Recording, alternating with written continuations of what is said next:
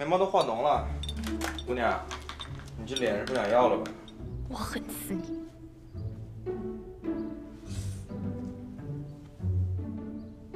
嗯，你啥样？没事情啊。脑子有问题，请上厉害怪我听听。打死你！哎，还没好呢，手也不想要了。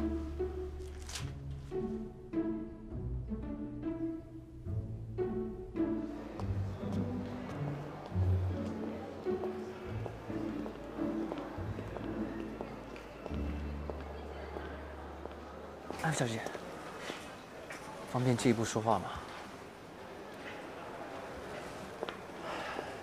你看到了，这就是我老板最近的状况。他以前再怎么样也不会对你做出这种事情。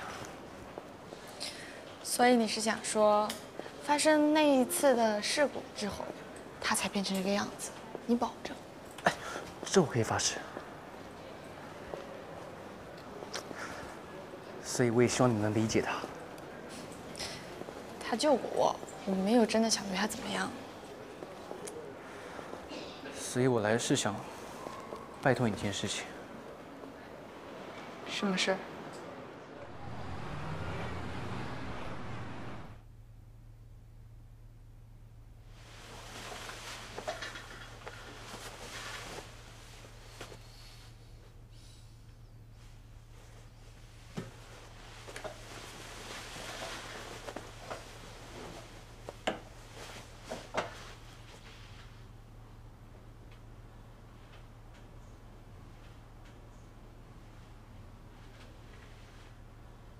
叶海，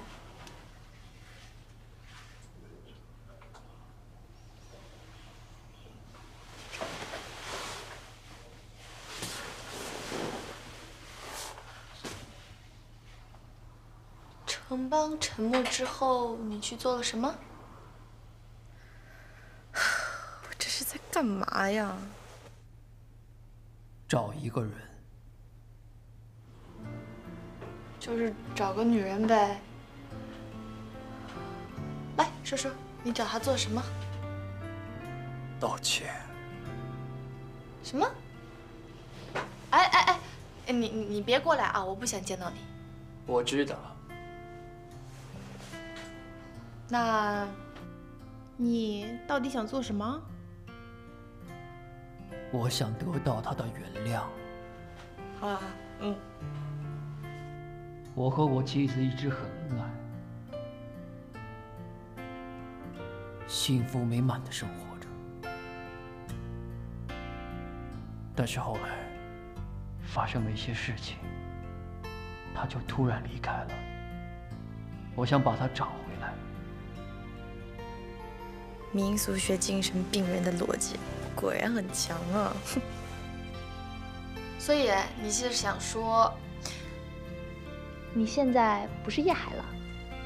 我不是叶海，我是波塞冬。就是叶海？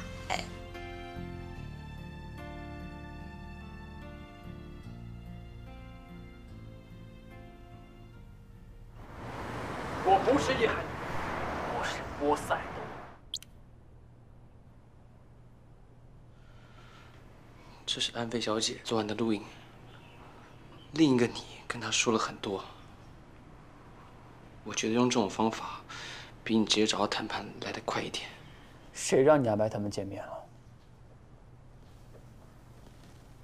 万一那个变态对安飞做了什么怎么办？他我觉得他很尊敬安飞小姐。